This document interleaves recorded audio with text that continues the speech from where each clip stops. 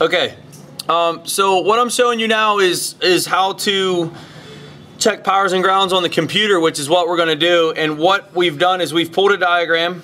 Um, fortunately, on these Mitchell diagrams, that they give you a description of what the wires are. It can still be done if there's no description, but it's a lot harder to do. But you can see right here it says ignition power, and I've highlighted that one. And I'm just looking down the line and I'm looking for anything that's a power or ground. And there's this one that says fused battery positive.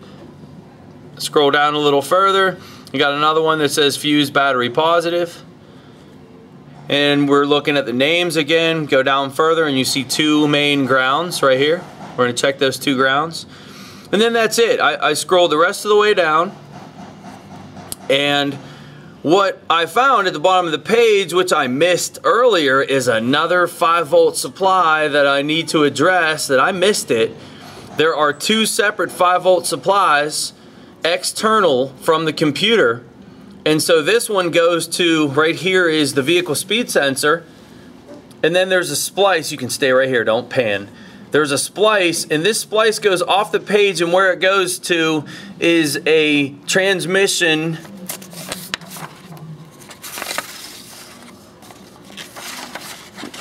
look at this one right here, right here. This is where the other wire goes, violet white, and goes to this transmission governor. Some type of uh, pressure sensor, probably uh, governor pressure sensor, even though they're drawing it as a potentiometer, it's not. Um, we have a concern that either my governor pressure sensor or my vehicle speed sensor could be sorted out doing the same thing too, guys. Even though back to this page. Where we were testing before was pin 12. Where's it at? It was a white with a black. It said 5 volt supply. Where's it at? Right here. Sorry, A17, white and black. That's where we were before. That's where we were doing all of our tests. And so we have a 5 volt supply coming out on A17 and back down here we have a 5 volt supply coming out on B 31 looks like two separate 5 volt supplies but I'm gonna tell you something guys. Internally they're shared. It's the same circuit. If either one of those halves get shorted to ground we have a problem. It'll pull everything down. So rather than crowing under the car and finding the vehicle speed sensor and finding the governor pressure sensor to save time I'm gonna show you another method. I need to find this wire first. B31 we're gonna find that wire. I'm gonna unplug it from the harness on the computer and we're gonna isolate it like that. Okay? Pause it. B.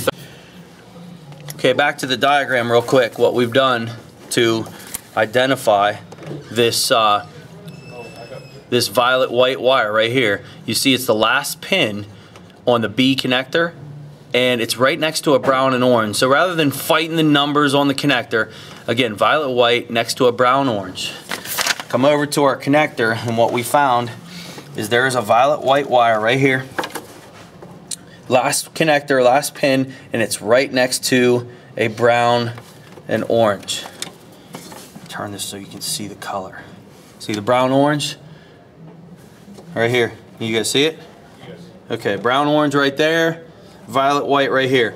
So we can uh, we could disconnect this and ohm the circuit, but the problem is ohming the circuit for a short to ground with the sensor still plugged in is we're gonna have some kind of reading.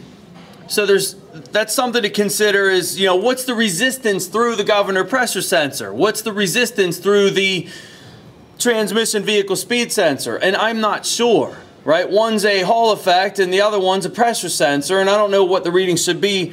And in light of saving time, and I'm not saying always to do this, but I got plenty of harness slack in here, okay? I'm actually gonna cut this wire right here. That's what I'm gonna do. And in the process though, before I cut that wire, what we wanna do is we wanna monitor this reference circuit still while I'm doing that, can I get somebody to turn the key back on? Again, I would not recommend doing this. I'm just uh, eliminating any variables and we have enough harness slack in this that we can fix it later. Okay, I'm about ready to snip this wire. Can you see where my Where my uh, now zoom out a little bit maybe. Uh, you got a good picture of that? Okay, I'm gonna cut it. and Watch the voltmeter. What happened? Nothing. All right, so what I just did, guys, is just save myself about 20 minutes of digging under the car for these connectors. I'll fix that in a, in a lot faster time than I will be crawling underneath the car worrying about the other two sensors. How's my other two sensors on this 5 volt reference circuit? If they were shorted when I cut that wire, this other circuit would have came back to life, right? Okay, so we didn't have that happen. We'll fix that wire when we're done. That just eliminated the other half of the circuit. Now we gotta do powers and ground. So we're gonna go after the first power feed,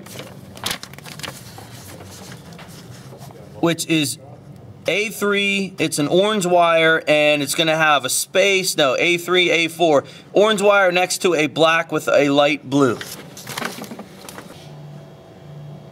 Sorry, it's A A2 is orange, A4 black and light blue. So we should have a orange wire, a space, and then a black and light blue. And there you can see that. There's orange. I don't know if you can see the space right there between it. There's a black with a light blue. That's absolutely my feed wire. So I'm gonna T-pin that carefully. Key is on, loaded circuit. I got 10.5 volts on that wire. Granted, the fuel pump uh, is uh, running all the time, so our battery's getting weak here. Uh, let me uh, turn our battery charger up just a little bit. Yeah, they did that on purpose. So a little higher, 10.9. So that's a good feed. Next one down the line is A14. It's yellow and red. There's two spaces next to it, A14 and uh, A15 is black red. So a yellow red and a black red and a space. All right, so we said we were looking for A14, which is a yellow red wire, and what we found, and this time I had to go by numbers because I couldn't locate the wire. And here's uh, here's um, there's pin one, pin 11. You're not gonna be able to see that on the camera, but there's one, there's 11. The next row would be 12. So there's three rows. There's a middle row here. And what you have, this is pin 12, this is pin 13, there's pin 14, it's got a white plug in it. There's nothing in pin 14.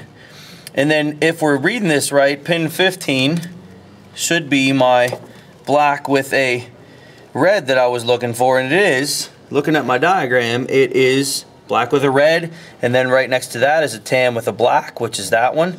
So the diagram's right the rest of the way, but we're missing a feed, so sometimes you run into that on these diagrams. Uh, let's just keep going down the line. Obviously, there was never intent. The intention was not to have a wire there on this model, so a little incorrect diagram. So we're going to go down to A22. So uh, the way that that would go is,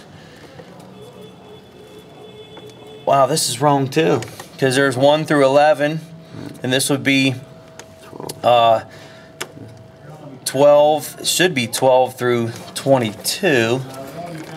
Oh yeah, you're right. There's 22 right here, and it is red with a yellow. And the correct way to check this is not with it unplugged. I don't want to measure this. I'm gonna do it to show you. I don't wanna measure this unplugged because the circuit's unloaded. That's never a good check to do a voltmeter test with a circuit unloaded. So, all right, keys on, I'm reading 0.5 of a volt on this feed. And that is not good, right? What we have? This is a feed, fuse battery positive. It come it comes from fuse number 20 in the fuse box in the power distribution box. There should be voltage there. And there's not. But as I was saying before, unplugged, you never want to test it. You always want it plugged in, loaded circuit.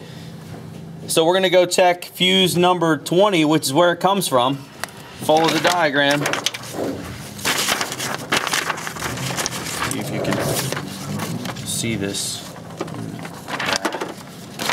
Camera light. Fuse number or A22, that's the one I'm checking right there. Red, yellow. You follow it, comes over here, comes up to that relay in a splice, follow it over this way, and it comes up to fuse number 20 in the power distribution box. We're gonna check that fuse. Okay guys, I'm gonna test these fuses. The key is on. The best and uh, quickest way to check a fuse is just touching the terminals. You gotta obviously make sure your light works and my light's not working. I'm connected to battery positive. Always test your light, make sure the light works. Go back to the fuse, check both sides of the fuse. You need to be able to see my light in the camera. Can you see Turn out that way. my test light? There you go. Is that better? Yeah. Like that? There you go. Yeah. So both sides of the fuse. You see a fuse that's hot on that side and it's hot on that side, that's a good fuse. It's the smaller ones I want to focus on. And uh, good ones should light on both sides as that one did.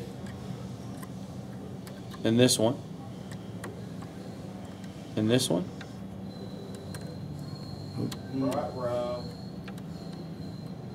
And that one. Can you see the, the angle? Here's, all right, th- and this one. Got power on this side. Okay. Go over here on this side. I got nothing. Got power here. Got nothing here. Feed and they get feed. All right. So that's my fuse, guys, that we were worried about. Let's uh, pop that fuse out. You see that? You see the blown part? Yeah. There's a the old school way of checking a fuse is pull it out, take a look at it. Uh, that's not always the most accurate way, but uh, clearly that fuse is blown. Uh, we're going to change this fuse. We're going to see what happens. Fuses don't blow for no reason. There's something that blew that fuse. We're going to have to address that too. But let's get power back to this computer. Let's see what happens. Pause. Key on? Is it? Is that fuel pump still running? Yeah. Okay. We're recording. I can't hear it. That thing's gonna pop. Mm-hmm.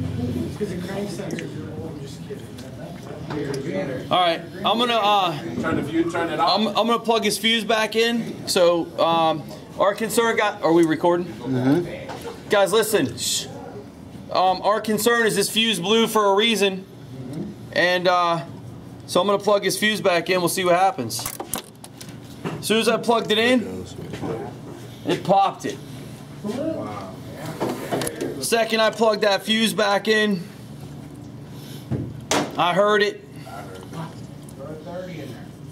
Yeah, throw a 30 in there was the comment. No, we don't want to do that.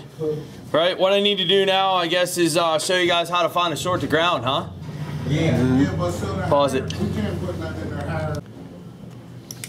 All right. So this is our 20 amp fuse that's blown as soon as we plug it in. That's our feed to our computer.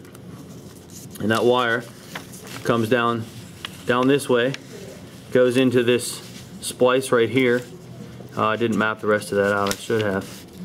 But that's our wire we were checking at the computer, that red with the yellow that we had no voltage on on A22. And as soon as we plugged the fuse in, it blew. And uh, so what we need to do is map out everything that's on this diagram. And I've done that already. And you can see that when it comes down to this splice right here, that it comes up to the ASD relay, which powers pretty much everything on this car. So with this relay being turned on, that short could be anywhere between, of course, the fuse and the computer that we just mapped out. So that would be from here. Let's finish this.